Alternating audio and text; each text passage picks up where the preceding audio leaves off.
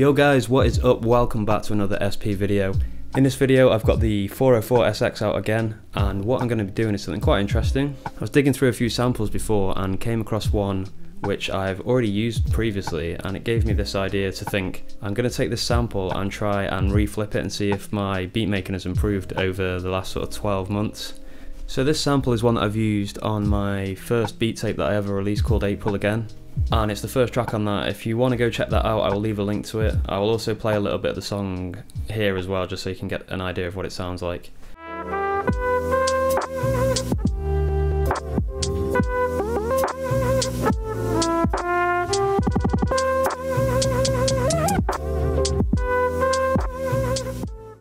So what I've done here on the SX is immediately chopped it again and pulled in some samples. So I'm just going to show you which chops I've got now.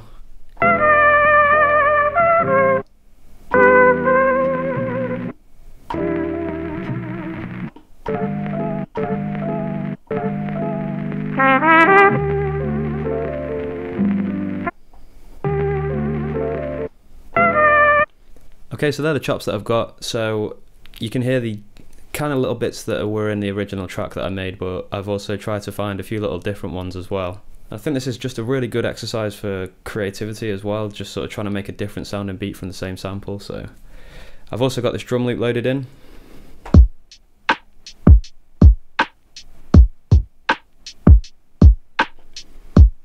No, I think what I've actually done with that is made that in Ableton. I can't actually remember how this drum loop's come to be in my SX, but due to the the fact it sounds really tight and uh, the fact that it's a perfect loop already, I've def I think what I've definitely done is built that on Ableton and exported it into my SP. So that's definitely something you can try yourselves if that's something that interests you.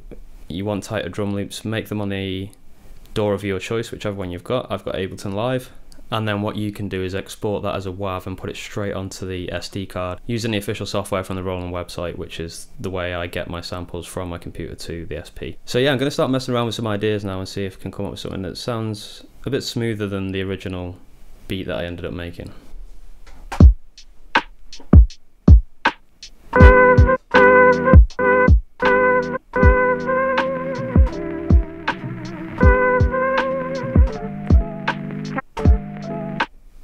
Okay, so I've noticed straight away that that chop has got a weird thing at the start of it, if you can hear. So I'm going to just fine tune that.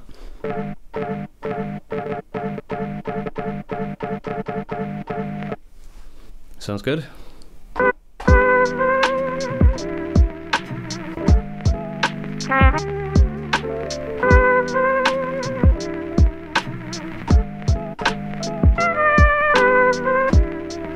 This is the thing I really like about having a loop built in, you can just let the loop play away and kind of jam and get some ideas. It's a little bit more difficult to do that when you're also tapping the drums along as well, like this.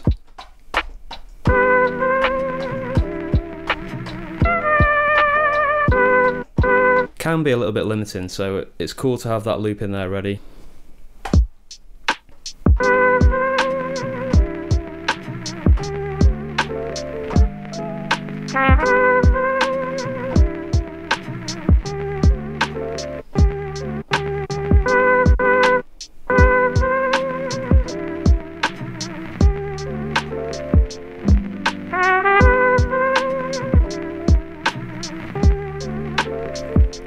Really like the sound of these three that I've got here. It's pad 2, 3 and 5.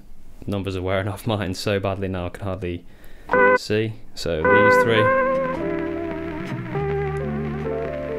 I think mainly just because they're quite smooth in the way they come in. There's no like pronounced note at the start of that and that's going to make for more sort of buttery sounding chops.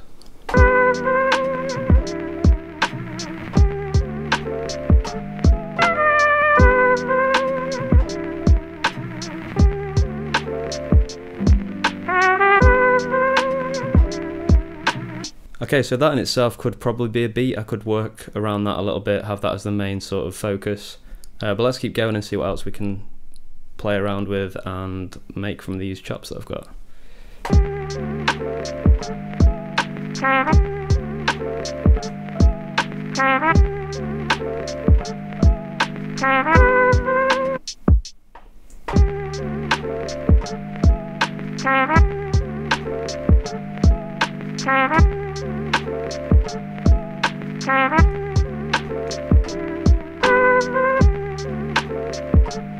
Also really like that, but again that pad 4 is giving me a little bit of grief. It's got a weird sort of noise at the start of it. So I might just completely cut past that to the piano note that comes in. That second piano note, if you can hear that.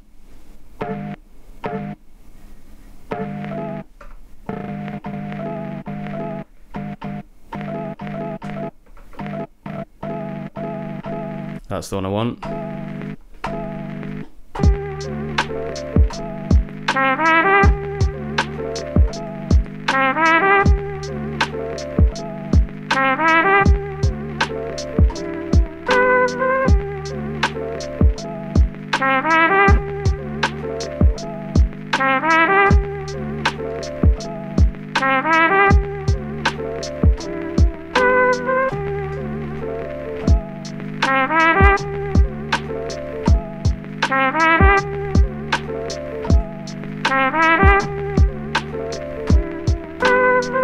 Right, that sequence is definitely the one that I want to stick with there. I really, really like the sound of that.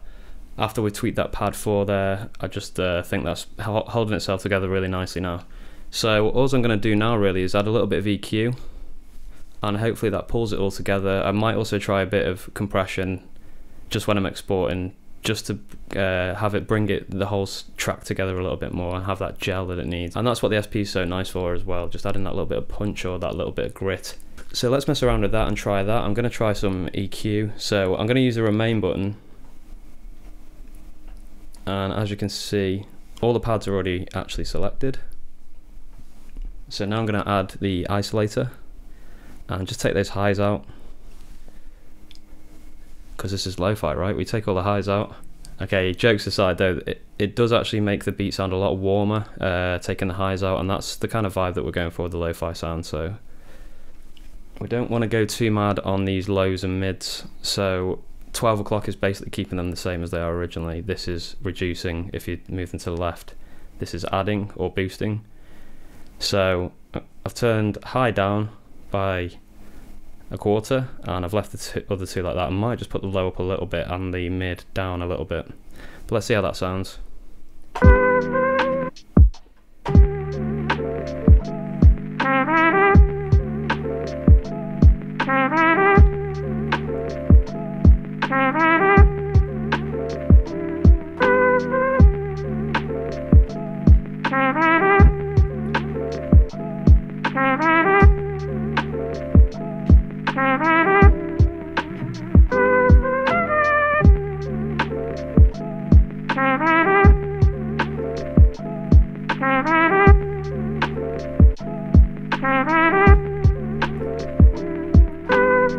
Okay, really, really happy with that sound. I think that's a, a nice little loop there. And probably what I'll do now is go ahead and get some more Foleys and that kind of thing, some noises to add in under that, but I'm not going to do that in this video. This was more just of a case of showing how you can get an existing sample and reflip it and make a different beat with it, and it sounds completely new and fresh. And it was also a way of me sort of monitoring my progress as a beat maker as well. I think that's definitely an improvement of the original one that I brought out, which is getting on for probably a year ago now. So really, really happy that my beat making is definitely improving, uh, getting more sort of smoother sounding beats, and yeah, just much more pleasant to listen to. I think so. I hope you enjoyed this video, guys. I'm gonna export that beat for you and stick it on the end of the video so you can listen to the full bump. And apart from that, I hope you all have a really, really good Christmas and New Year. I'm going to be recording content over Christmas and New Year because I've actually got time off from my job, but I don't know when I'll be releasing it. I might try and stagger it to keep the channel active. So there will be content coming for this for the uh, foreseeable future. So if you're enjoying these videos, please, please hit that subscribe button. As I keep saying, there's about 70 to 75% of you that watch that aren't subscribed. So if you could hit that red button, I would really, really appreciate it.